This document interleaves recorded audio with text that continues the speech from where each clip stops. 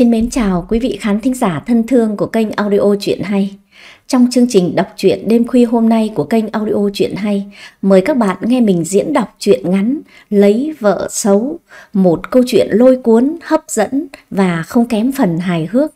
Một câu chuyện mà ông chồng nào cũng lên nghe một lần. Và ngay bây giờ, chúng ta hãy đi vào nội dung chính của câu chuyện này nhé. Vì có việc quan bữa ấy, tôi phải vào tòa sứ Hà Đông. Tôi bước chân vào công đường lúc 9 giờ sáng, phải ngồi khoanh tay đợi trên một chiếc ghế dài mãi cho đến 11 giờ. Cụ phán buồng giấy ấy, theo những thông lệ thiêng liêng của nước Việt Nam cố hữu, đã tiếp tôi bằng sự nhăn nhó, sự gắt gỏng, để mà sau cùng bảo tôi đến chiều thì quay trở lại để cụ tiếp một lần nữa. Tôi đã vâng vâng dạ dạ như một người công dân hiểu rõ cái quyền hạn vô hạn của một quan phán đầu tòa là như thế nào. Khi ra khỏi vườn hoa của tòa sứ, tôi phải đành đi tìm một hàng cao lâu và tại đó tôi đã tình cờ được gặp anh Doãn, một người bạn đồng học cũ ở lớp nhất của một trường sơ học. Anh ta có bộ âu phục rất trải chuốt. Xưa kia, lúc còn cắp sách, anh ta cũng có tính làm đỏm như một cô con gái và mãi cho đến tận bây giờ tính ấy cũng không thay đổi. Sau một chặng đường mà anh ta đã đi trong 10 năm, cái cổ áo không sọc sạch một tị, đôi mũi giày không có một hạt bụi, cái cà vát rất hợp thời trang với cái khuy áo cài vào tử tế. Đủ tỏ rằng anh thận trọng y phục lắm. Chính anh Doãn nhận được ra tôi là ai và đã đến bên bàn tôi, giơ tay ra, kính cẩn như người ta muốn hỏi chuyện một khách lạ chưa quen biết một lần nào. Thưa ông, chắc ông còn nhớ tôi. Tôi là Doãn, trường sinh từ... À, à, anh Doãn, vẽ chuyện lắm, việc gì còn phải xưng hô kiểu cách. Mới có đến đấy, một người đàn bà to lớn đã bước vào, ngơ ngác đứng sau lưng anh. Doãn bèn quay lại, giới thiệu tôi là bạn, giới thiệu người đàn bà là vợ.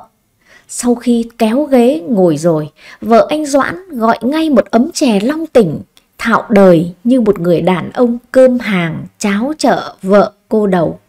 Tôi nhìn người đàn bà ấy, thấy đó là một sự trái ngược với người bạn cũ. Thật vậy, đó không phải là một cặp vợ chồng tốt đôi. Tức thì tôi nhớ lại tất cả những đức tính buổi xưa của Doãn. Anh ta vốn thông minh, lại rất có óc mỹ thuật. Không kể về y phục của Doãn xưa kia đã được cả trường khen là sang trọng. Ngay đến một cái bút chì, một hộp thuốc vẽ của anh cũng đều là những đồ dùng đắt tiền và lọc lõi vô cùng. Ngoài cái chức là một thiếu niên sành sỏi, Doãn hồi ấy lại còn được chúng tôi gọi là một chàng đông doan. Thật thế, anh có tài ngôn ngữ, có tài văn chương nên chim gái rất thạo. Những thiếu nữ si mê anh phần nhiều là những gái đẹp có tiếng, vì cô nào không là hoa khôi thì anh ta không thèm bắt chim. Anh đã thường khoe chúng tôi những giấy viết thư tình của anh với những cái phong thư bì kiểu cách đáng bày xu một chiếc. Trong những lúc ấy, trước sự kính phục ghê gớm của chúng bạn, anh Doãn thường đứng ưỡn ngực chỗ cái xe đạp của anh mà rằng Chúng mày xem, vì hơn người thì thôi, tao không thèm chơi. Bấy giờ, thấy anh ngồi với một người vợ không có mỹ thuật chút nào cả, lại thấy cái tính cầu kỳ của anh vẫn không thay đổi. Tôi chợt ngớ ngay đến câu phương ngôn, sướng lắm thì khổ nhiều. Đó là một sự nhãn tiền quả báo. Vợ anh thật vậy, là một người đàn bà có cái nhan sắc của một người đàn ông không đẹp dai. Hai con mắt nhỏ, đôi gò má cao, cặp môi phàm phũ, dáng người thô tục, những ngón tay tròn và dài như một quả chuối ngự. Như vậy mà lại đi ăn mặc tân thời, răng trắng nữa. Trời ạ, cái áo dài lượt thượt màu xanh, cái quần nhiễu trắng trai lơ, đôi giày cao gót có quai kiểu gái nhảy, với màu khăn vành dây, ngẩn ấy thứ lại càng làm lộ cái mỹ miều của sự thô tục, lại càng làm tăng cái choáng lộn của sự cạch cỡm. Đã thế, trong khi chuyện trò, thỉnh thoảng lại chêm vào một vài câu tiếng Tây, ra ý khoe khoang mình vốn là nữ học sinh.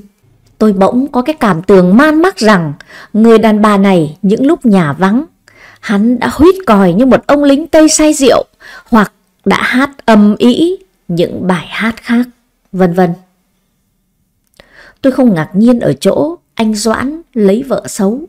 Ở đời tôi đã từng thấy cái câu thánh nhân hay đãi khủ khờ hiện ra nhiều sự thực và càng những thằng thiên tinh địa quỷ như Doãn mới lại càng chết.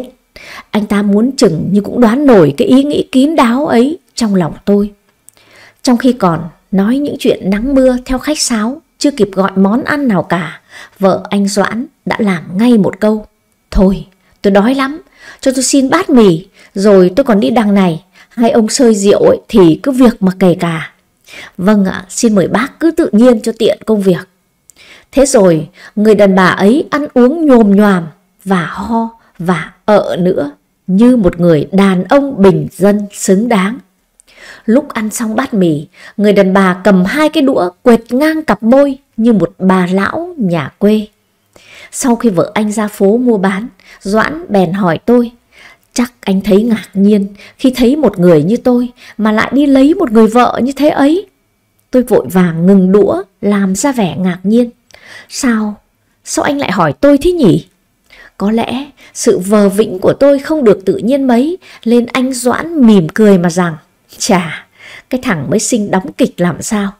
Thôi, trong chỗ chúng ta ấy, tôi cho phép anh cứ việc nói thẳng những điều anh nghĩ.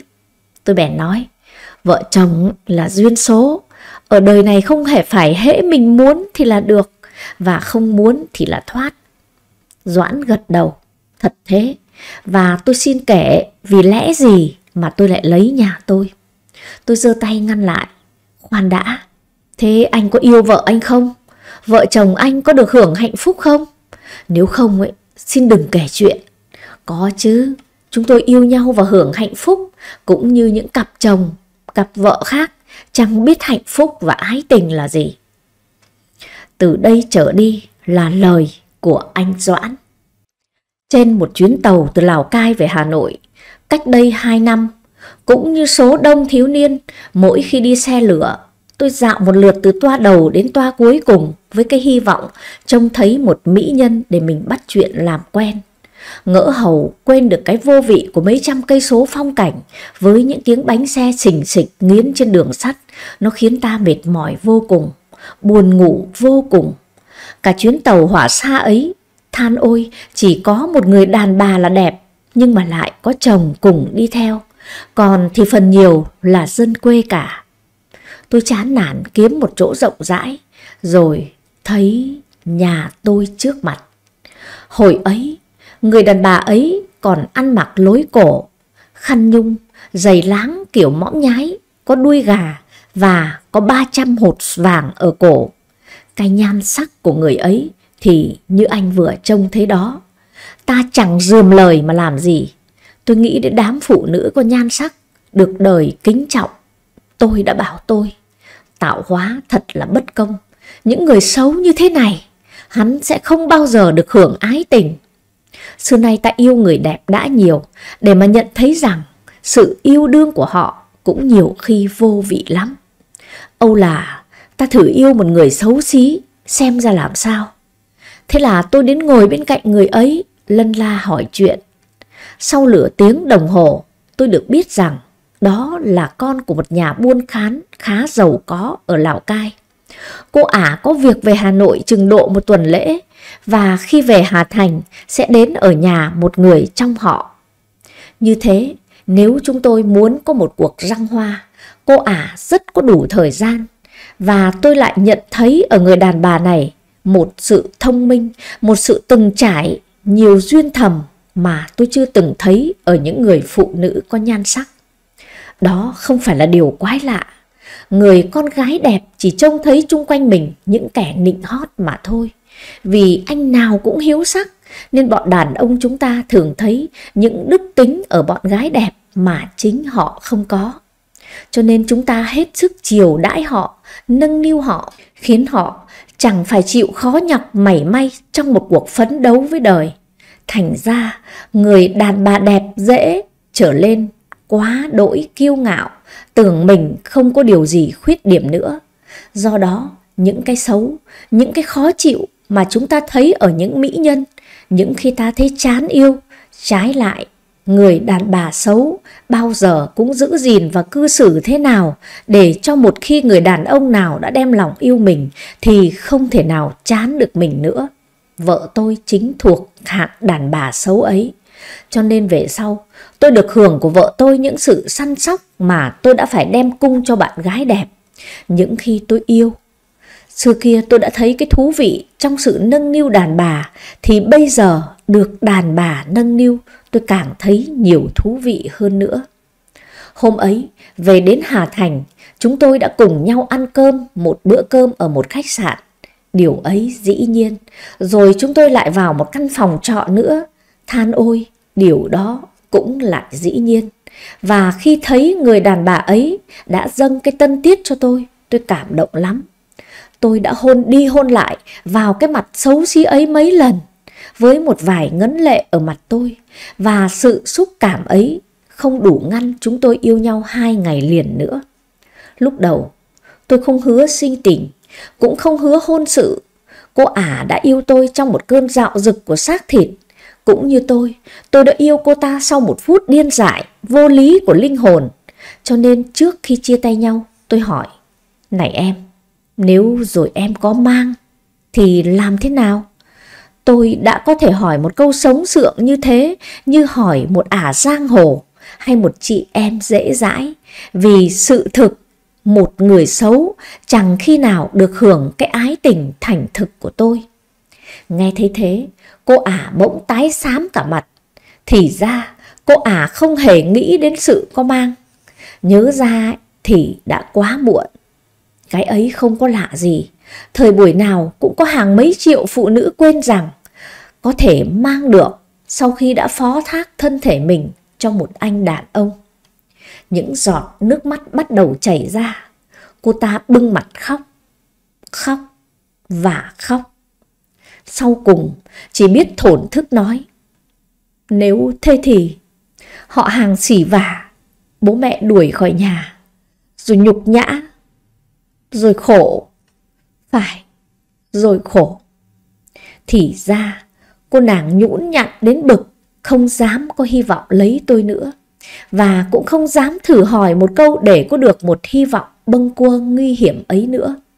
Cô biết mình xấu xí, không đáng lấy một người như tôi và không dám cả nghĩ đến sự đòi bồi thường sau cái thiệt hại do tôi gây ra. Dễ thường, cô ả coi cái phút ngứa ngáy xác thịt của tôi như là một thứ đặc ân cho mình nữa. Tôi lại hỏi, Sao lại tin tôi đến như thế? Tôi đã là đứa không ra gì, cô cũng lại hư đốn nữa. Cô ả thở dài, đáp. Nếu không yêu anh thì thôi, chứ cả một đời em, chắc rồi cũng chẳng ai thèm yêu đến thứ em. Thôi thì thà rằng sẽ phải khổ một đời vì đã quá yêu một phút.